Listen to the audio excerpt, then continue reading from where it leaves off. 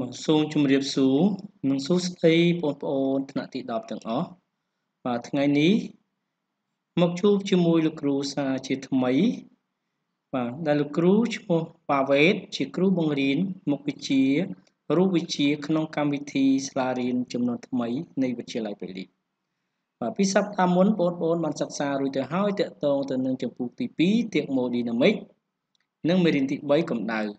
ថ្ងៃនេះយើងនឹងបន្តមេរៀនយើងបន្តទៀតតកតងទៅនឹងមេរៀនកម្ដៅដដែលតែមានខ្លឹមសារ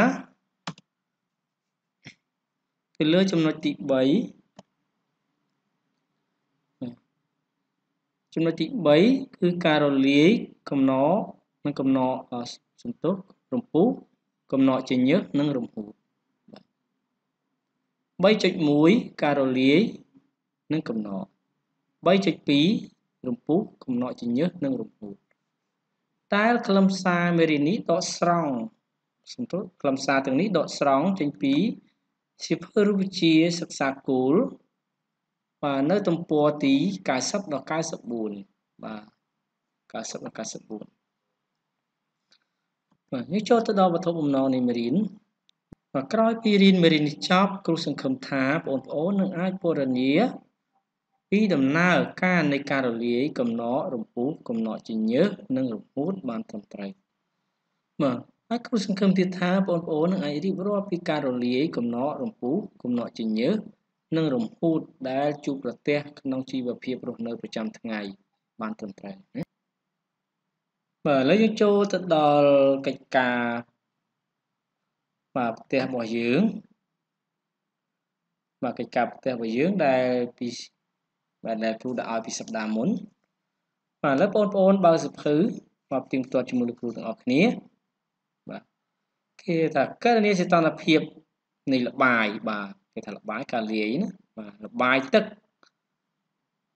នៅពេលដែលគេយកទឹកក្តៅ100ក្រាម នៅសីតុណ្ហភាព70អង្សាសេទៅលាយជាមួយទឹកបាទ200ក្រាម នៅសីតុណ្ហភាព10អង្សាសេហើយគេសន្មតថាបាទ គ្មានកំហាតធម្មពលកម្ដៅបាទគ្មានកំហាតធម្មពលកម្ដៅពេលចាក់លាយចូលគ្នាដូចរូបហ្នឹងណាបាទបាទឥឡូវយើងកលេចទៅមើលបន្តិចតកតងទៅនឹងការលាយចូលគ្នា បាទមួយសីតុណ្ហភាព70មួយសីតុណ្ហភាព10អញ្ចឹងពេលដែលយើងលាយចូលគ្នាយើងគិតថាតើសីតុណ្ហភាពយើងអាចលើស70ទេឬអាចក្រោម10ទេបាទ ចឹងសីតុណ្ហភាពរបស់យើងគឺវាស្ថិតនៅបាទស្ថិតនៅទៅណានៅចន្លោះពីបាទពី10ទៅ70បាទអញ្ចឹងយើងត្រូវរកសីតុណ្ហភាពនៅចន្លោះហ្នឹងតែពេលយើងលៀងវាទៅនៅចន្លោះពី10ទៅ70វាមិនអាចកើនលើបាទ70ហើយក៏មិនអាចក្រោម10ដែរបាទពេលយើងលាយចូលគ្នាណាបាទ ចឹងពេលណាដែលវាលាយចូលគ្នាមានន័យថាទឹកក្តៅហ្នឹងវាត្រូវបញ្ចេញកម្ដៅមួយដើម្បីបញ្ចុះសីតុណ្ហភាពមកសីតុណ្ហភាពណាមួយនៅចន្លោះហ្នឹងបាទហើយសីតុណ្ហភាពត្រជាក់ហ្នឹងវាត្រូវអីស្រូបបាទស្រូបស្រូបពីណាស្រូបពីអាក្តៅដើម្បីបង្កើនសីតុណ្ហភាពពី10ទៅដល់សីតុណ្ហភាពនៅចន្លោះនឹងណាមួយដូចគ្នាណាបាទចឹងក្រោយពីលាយចូលគ្នាមួយសន្ទុះមកវាវាមិនសន្ទុះរយៈពេលខ្លីមកយើងវាស់ទៅយើងបានសីតុណ្ហភាពសម្រាប់ណា ណាមួយហ៎បាទមកសីតុណ្ហភាពសម្រាប់ណាមួយឥឡូវយើងរកសីតុណ្ហភាពសម្រាប់ហ្នឹងទៅរកតាមណាបាទឥឡូវយើងដំណោះស្រាយរបស់យើងបាទអញ្ចឹងយើងតាងវាបន្តិចមកបាទខ្ញុំមើលថាបរិមាណកម្ដៅដែលទឹកបាទយើងតាំង MO ស្មើ100ក្រាមមានទឹករបស់ទឹកក្ដៅដែលបោះបង់បាទបោះបង់ឬបញ្ចេញដូចគ្នាណាបាទបោះបង់ដើម្បីបញ្ចុះសីតុណ្ហភាព បាទពីតេអងស្មើ70មកបាទសីតុណ្ហភាពតេបាទអញ្ចឹងគ្រូតាំងតេជាសីតុណ្ហភាពសម្រេចបាទឥឡូវយើងអញ្ចឹងយើងបានរូបមន្តមួយកាលណាវាមានបំរែបំរួលសីតុណ្ហភាពវាត្រូវការបរិមាណកម្ដៅអត់តែមានបំរែបំរួលសីតុណ្ហភាពត្រូវមានបរិមាណកម្ដៅដែលមានរូបមន្ត MC តេតាតេបាទអញ្ចឹងបាទនេះ M អងយើងដាក់គុយអងមក M អង C តេតាតេអងហេតុអីបាន C មិនដាក់អងដែរដោយសារតែទឹកយើងដូចគ្នា ខណៈទឹកដូចគ្នាមានកម្ដៅម៉ាស់ដូចគ្នាអញ្ចឹងយើងមិនបាច់ដាក់ក៏បានដែរណាបាទឥអត្តតាតេអងយើងក្នុងមេរៀនយើងថ្ងៃមុនយើងដឹងហើយគឺយកស្ថានភាពស្រេចដកស្ថានភាពដើមបាទស្ថានភាពដើមយើងគឺតេអងស្ថានភាពស្រេចគឺតេបាទស្ថានភាពស្រេចមានស្ថានភាពចុងក្រោយណាបាទឥឡូវយើងមើលបរិមាណកម្ដៅដែលទឹកបាទដែលទឹកត្រជាក់របស់យើង បាទបរិមាណកម្ដៅទឹកត្រជាក់របស់យើងគឺអំដឺស្មើ200ក្រាមស្រូបអានឹងវាស្រូបអាមួយបញ្ចេញអាមួយស្រូបបាទដើម្បីដំឡើងស្ថានភាពពីតេដឺស្មើ10បាទទៅស្ថានភាពសម្រាប់តេអញ្ចឹងយើងមានគួយដឺស្មើនឹងអំដឺសេដេតាតេតេដឺចឹងដោយសារតែស្ថានភាពស្រាច់របស់យើងស្ថានភាពចុងក្រោយតេអញ្ចឹងយកតេដកតេតេតេ បាទបន្ទាប់មកយើងអនុវត្តទៅតាមរូបមន្តយើងមួយទៀតគឺបាទគោលការណ៍បណ្ដូរកម្ដៅណាបាទបាទគោលការណ៍បណ្ដូរកម្ដៅមានន័យថាម៉េចគោលការណ៍បណ្ដូរកម្ដៅនេះបាទមានន័យថាប្រសិនបើទឹកកដៅបញ្ចេញទៅត្រូវបានទឹកត្រជាក់ស្រូបយកទាំងអស់បាទចេញ10ហើយស្រូប10ចេញ20ស្រូបយក20អញ្ចឹងមានន័យថា កម្ដៅយើងអត់បាត់បង់ទៅណាទេយើងអាចប្រើប្រាស់អនុវត្តតាមគោលការណ៍បណ្ដូរបណ្ដូរកម្ដៅបាទដោយសារគួយដឺយើងស្មើអំសេតេដកតេដឺបាទគួយអងស្មើអំអងសេដតាតេដកតេអងបាទចឹងយើងជួលេខដោយសារតែសេយើងដូចគ្នាបាទដូចគ្នាសេនេះបាទទឹកដូចគ្នានេះក៏សេទឹកដូចគ្នាចឹងយើងលុបទុកសម្រួលចោលចឹងនៅសល់តែម៉ាស់សល់អំដឺដតា អឺសំទោសអំដឺតេដកតេដឺនិងអំអងតេដកតេអងបាទសញ្ញាដកនេះរូបមន្តយើងក៏ដែរភាសាខាងនេះស្មើ200ខាងនេះ100លោកគ្រូចែកនឹង100ចោលមកឲ្យលេខច្រើនបាក់គិតបាទចែកនឹង100សល់បើយើងសល់2បាទ200ចែក1សល់2 100ចែក100សល់1 1អត់សេ តើមកយើងដោះស្រាយសមីការនឹងមកយើងគុណពន្លាតសមីការចេះគុណគ្នាយើង បាទគុណពន្លាតសមីការនឹងមកបាទតើមកយើងបោះខាងតេមករតេបាទយើងបានបាទយើងបាន3តេដោយសារខាងនេះ2តេនេះគុណសញ្ញាដកចូលបានបានដកតេដកតេបោះមកអង្គទី1បាទឥឡូវយើងមើលឡើងនេះយើងបានគុណចូលបាន2តេខាងនេះ គុណសញ្ញាដកបានដកតេអញ្ចឹងដកតេបោះមកខាងនេះបានបូកតេ2តេបូកតេបាន3តេណានេះគុណចូលបានដក2តេដឺបោះទៅខាងអង្គទី2បានបូក2តេដឺសញ្ញាដកគុណនឹងដកបានបូកបូកតេអងទុកនៅដដែលបាទតើមកយើងទាញរតេបាទទាញរតេជាស្មើនឹងនេះជាផលគុណបានផលចែកណាបាទបានតេអបូក2តេដឺចែកនឹង3 យើងគុណដោយសារពីតេដឺរបស់យើងមិញគឺ10បាទអញ្ចឹង2គុណ10ស្មើមក20 20បូក70ស្មើបាទ90ចែកនឹង3បាន30អង្សាសេបាទស្ថានភាពសម្រាប់របស់យើងគឺទេស្មើ30អង្សាសេអញ្ចឹងយើងបានស្ថានភាពសម្រាប់មួយនៃលបាយទឹកកាលណាយើងលាយចូលគ្នាយើងបានស្ថានភាពបាទលបាយទឹកវិញគឺ30អង្សាសេណាបាទ អូខេឥឡូវយើងចូលទៅដល់ចំណុចទី3របស់យើងសិក្សាទៅលើការរលាយកំណករំពុះកំណកជាញើសនិងរំហួតបាទទី1សិក្សាសំដៅ3.1សិក្សាទៅលើការរលាយនិងកំណកបាទអញ្ចឹងកំណកសំដៅការរលាយយើងលើកយកឧទាហរណ៍ដូចជាដកអុំតកបាទយកមកទុកអាថ្ងៃយូរបន្តិចវារលាយអស់បាទ រលាយអស់អញ្ចឹងមុនដំបូងយើងឃើញតកយើងអង្គធាតុរឹងនេះណាបាទយើងទុកយូរទីរលាយអស់ខ្លាចជាអង្គធាតុរាវខ្លាចជាទឹកការរលាយរបស់យើងជាអ្វីបាទអញ្ចឹងរលាយជាដំណើរផ្លាស់ប្ដូរភាពពីរឹងទៅរាវបាទដំណើរផ្លាស់ប្ដូរពីរឹងទៅរាវ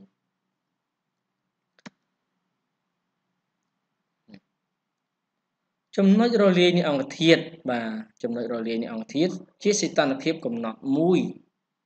ដែលពេលនោះអង្គធាតុបំលែងពីរឹងទៅទៅរាវបាទជាសីតុណ្ហភាពកំណត់មួយដូចជាទឹកកកអញ្ចឹងបាទវាចាប់ដើមរលាយនៅ0អង្សាសេអញ្ចឹងមានន័យថា0អង្សាសេគឺជាសីតុណ្ហភាពកំណត់មួយដើម្បីឲ្យទឹកកកចាប់ដើមរលាយបាទចាប់ដើមរលាយណាចុះកំណកវិញណា បាទជាមើលកំណកគឺជាដំណើរផ្លាស់ប្ដូរពីភាពរាវទៅរឹងអញ្ចឹងមានន័យផ្ទុយពីរលាយដូចទឹកអញ្ចឹង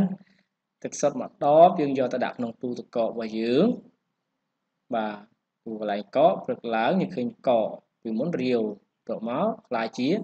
ជារឹងបាទអញ្ចឹងមានន័យថាគឺជាដំណើរផ្លាស់ប្ដូរពីភាពរាវទៅទៅរឹងចំណុចកំណកនៃអង្គធាតុជាសីតុណ្ហភាពបាទកំណត់ មួយតែពេលនោះអង្គធាតុបំលែងពីភាពរាវទៅទៅរឹងបាទដូចគ្នាជាមួយនឹងបាទចំណុចរលាយដែរចំណុចកំណកណាដូចជាទឹកអញ្ចឹងវាកកនៅសីតុណ្ហភាពប្រហែល0អង្សាអង្សាសេបាទ0អង្សាសេអញ្ចឹងដល់ពេល0អង្សាសេទឹកយើងចាប់ផ្ដើមបំលែងពីបាទពីរឹងសំទោសពីរាវទៅទៅរឹងបាទ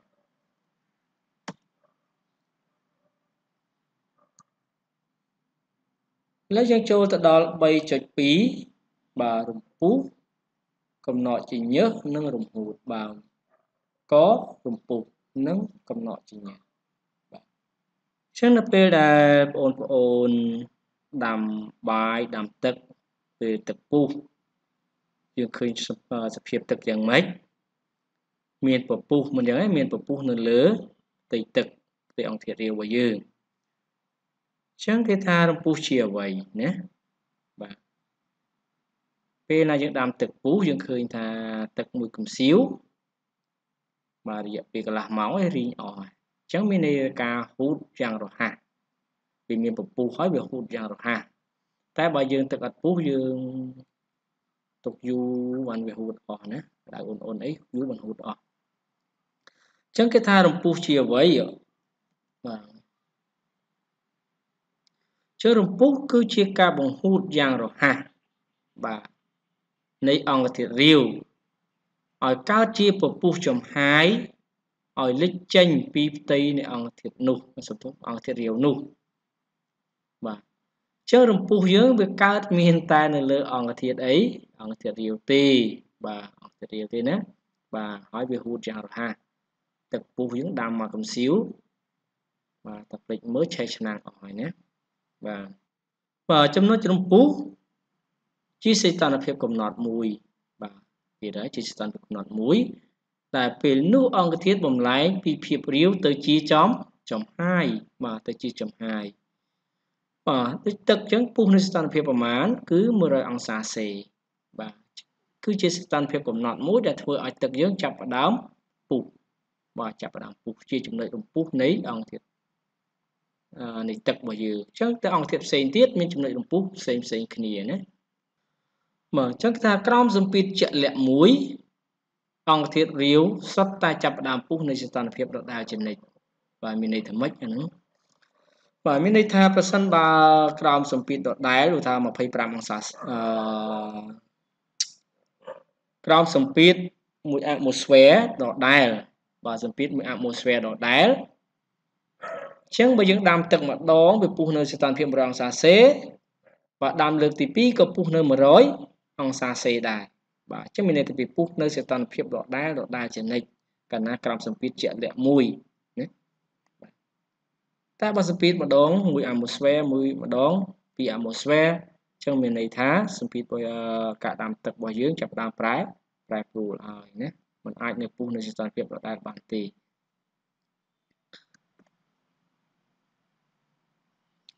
បាទកំណត់ជាញើសបាទកំណត់ជាញើសពេលដែលយើងដាំបាយយើងបើគម្របឆ្នាំងបាទយើងឃើញមានដំណក់ទឹកតូចតូចជាប់នឹងគម្របឆ្នាំងអានោះហៅថាកំណត់ជាញើសបាទអញ្ចឹងកំណត់ជាញើសគឺជាការបំលែងពីភាពចំហាយទៅជាជាញើសបាទបើកឆ្នាំងបើកកំសៀវមកឃើញផ្សែងផ្សែងយើងយកគម្របកំសៀវក្របបន្តិចយើងឃើញមានដំណក់ទឹកនៅនៅជាប់ទៅនឹង បាទគម្របកំសៀវឬគម្របឆ្នាំងបាយរបស់យើងហ្នឹងគេហៅថាអាកំណត់តូចតូចហ្នឹងហៅជាញើសបាទកំណត់ជាញើសអញ្ចឹងកំណត់ជាញើសការបំលែងពីចំហាយទៅជាជាញើស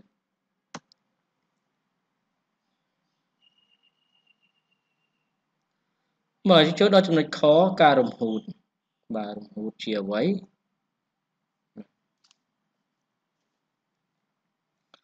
តើអ្នកធ្លាប់តើយើងធ្លាប់សង្កេតឃើញបោកាបោកអាវរបស់យើងណាយើងបាទ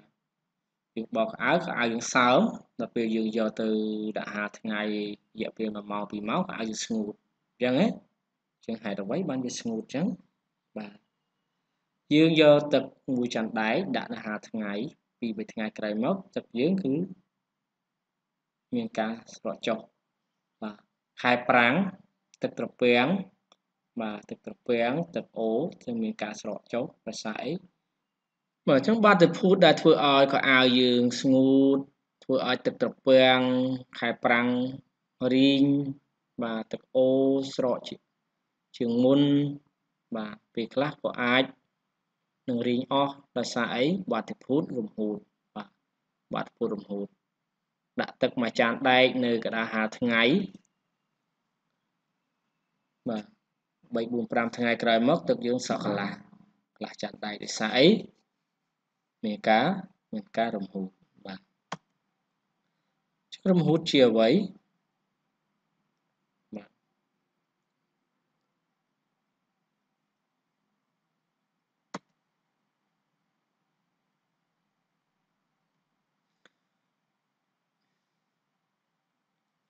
ជើងរំហួតជាការបង្ហួតនៃអង្គធាតុ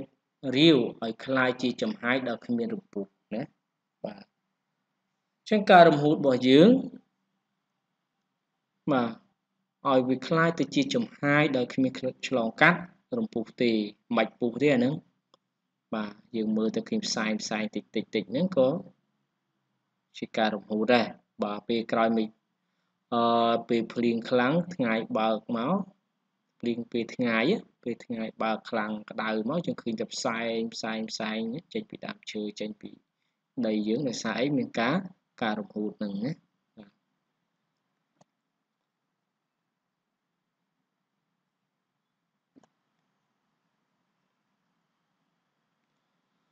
បាទឥឡូវតើតើរំហួតនិងរំពុះខុសគ្នាដូចម្ដេច និងមានដំណើរការរបស់វាមានភាពរាវទៅឧស្ម័នដូចគ្នាដែរឬទេបាទយើងឃើញថារំហួតគឺការបំលែងពីរាវទៅជាចំហាយបាទឬឧស្ម័នណាបាទផ្សែងផ្សែងនេះយើងមើលទៅដូចជាឧស្ម័នអញ្ចឹងបាទរំពុះក៏ជាការបំលែងពីបាទពីអង្គធាតុរាវទៅជាចំហាយដូចគ្នា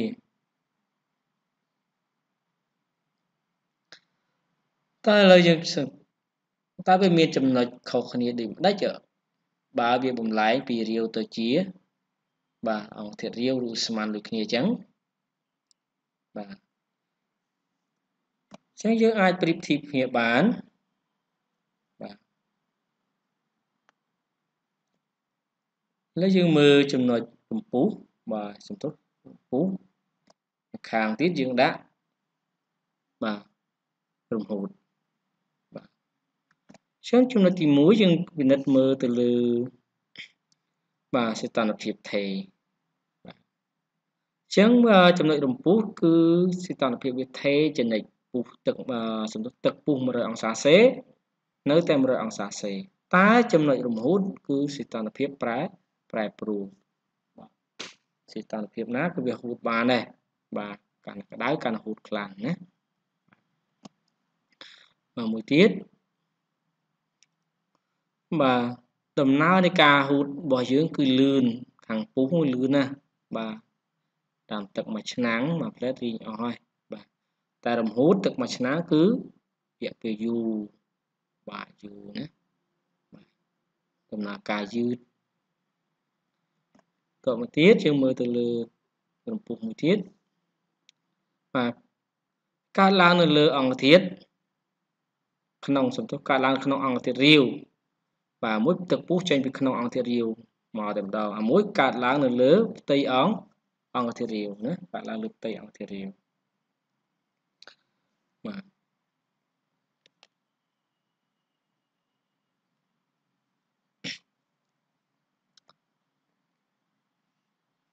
ចា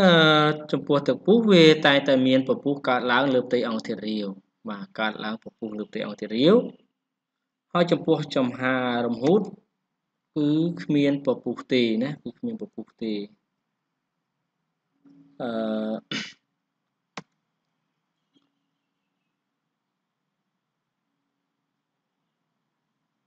បាទហើយសីតុណ្ហភាពថេក្នុងរយៈពេលកំពុងពុះបាទសីតុណ្ហភាពថេកំពុងពុះរបស់យើងបើពុះនៅ100អង្សាសេគឺ100អង្សាសេរហូតអត់កើនសីតុណ្ហភាពទេតែកំពុងអឺ ពេលរហូតសីតុណ្ហភាពយើងប្រែប្រែប្រួលបាទ20អង្សាសេក៏ហូត25អង្សាសេក៏ហូតអញ្ចឹងមានន័យថាសីតុណ្ហភាពវាប្រែប្រួល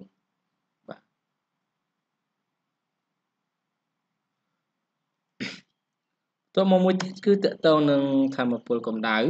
បាទធម្មពលកម្ដៅអញ្ចឹងកម្ដៅដែលផ្ដល់ឲ្យប្រភពគឺដុតកម្ដៅបាទពេលដែលយើងដុតកម្ដៅមកធ្វើអង្គធាតុយើងបាទ ពុះក៏ប៉ុន្តែរំហួតគឺវាពឹងទៅលើមជ្ឈដ្ឋានជុំវិញវា បាទមជ្ឈដ្ឋានជុំវិញវាហ្នឹងបាទពន្លឺថ្ងៃក៏វាហួត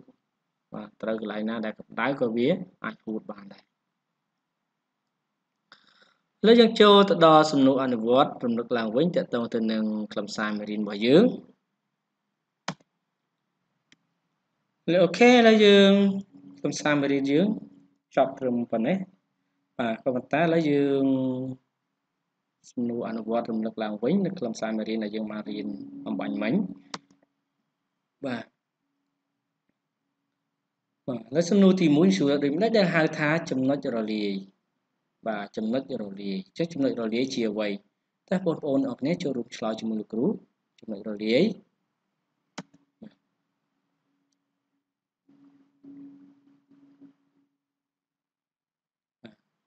ចឹងចំណុចរលាយ